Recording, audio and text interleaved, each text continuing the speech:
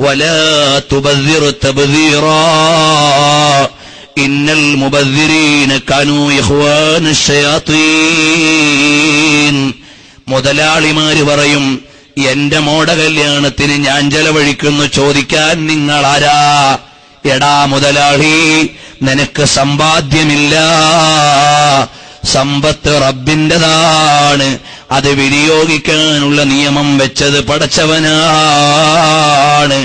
മകളുടെ കല്യാണത്തിന് നീ എന്തെല്ലാം ആഭാസങ്ങളാണ് നടത്തിക്കൂട്ടിയത്?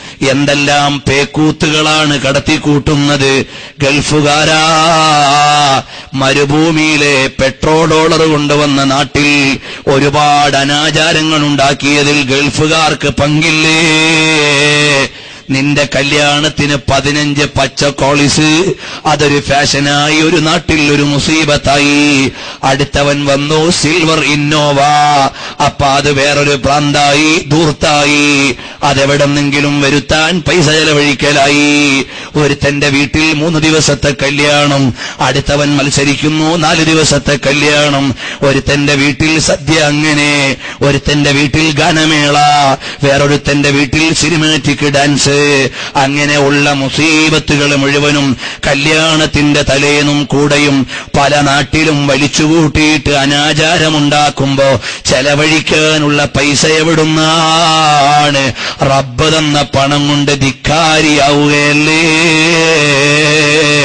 അള്ളാഹുവിന്റെ കോടതിയിൽ നീ പ്രതിക്കൂട്ടിലാണ്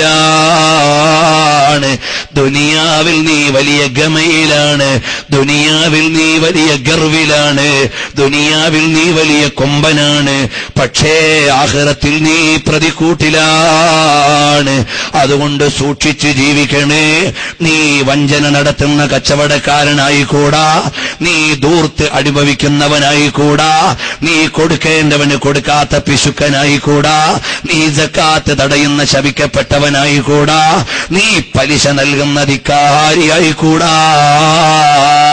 സാമ്പത്തിക മേഖലയിൽ നിന്ന് ഒരുപാട് അതിക്രമങ്ങൾ പല വിധേനയും നടന്നിട്ട് അനന്തരാവകാശ തൊത്ത് വാപ്പാനെ പറ്റിച്ചിട്ട് വാങ്ങുന്നവനായി കൂടാ പെങ്ങന്മാരെ കണ്ണുനീര് കുടിപ്പിക്കുന്നവനായി കൂടാ പറ്റിച്ച് പണം പിടുങ്ങുന്നവനായി കൂടാ പണത്തിന്റെ പേരിൽ കുടുംബ ബന്ധം തകർക്കുന്നവനായി കൂടാ തമ്മിൽ തല്ലിക്കാൻ ചില്ലറ കാശുകൾ കാരണമാക്കുന്നവനായി കൂടാ പ്രിയപ്പെട്ട സഹോദരാ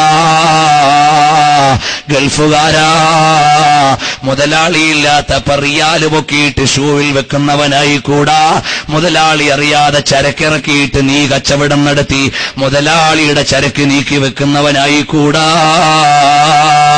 നാട്ടിലേക്ക് മുതലാളി വന്നപ്പോ ആറുമാസത്തെ ലാഭം പകുതിയും മോഷ്ടിച്ചെടുക്കുന്ന വഞ്ചകനായി കൂടാ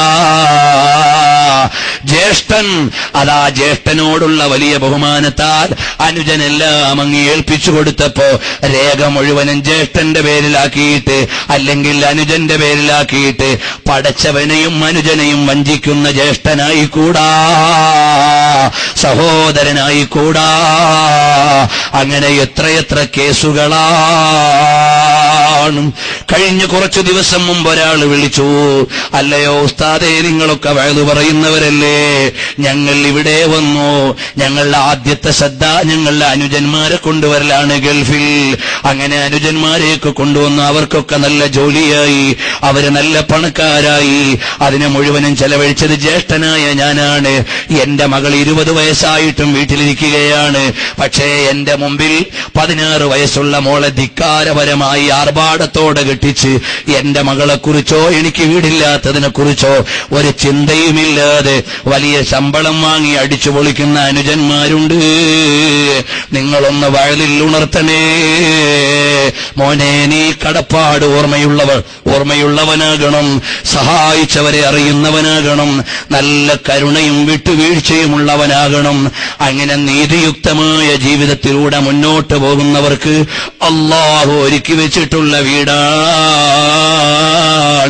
വീടാണ് വൽജാറു والرحمن نسيها.